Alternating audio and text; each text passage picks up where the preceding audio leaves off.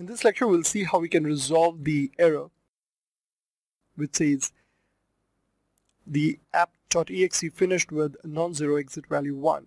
Now this one is a specific case which we are resolving. That is I have recently upgraded my Android Studio to version 2.3.1 and this comes with the instant run feature which is enabled by default. So when I'm trying to execute this I'm getting this error message. And uh, what I've done to rectify it is inside the file settings you just go ahead and do this to your command line options stack trace debug.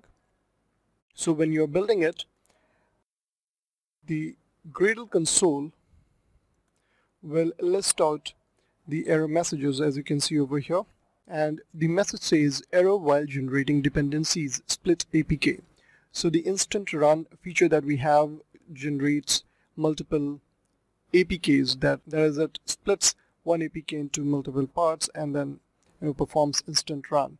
But over here it's not working. And what it is doing is when I'm trying to execute it's showing the error message. As you can see over here Gradle finished with errors. And and in the messages tab you see all the and in the messages tab you see all the errors coming up. To resolve this what you need to do is just go to file settings and then you can keep this one if you feel like. I'm just removing it. Go to the instant run feature and just disable it. Click apply. Okay.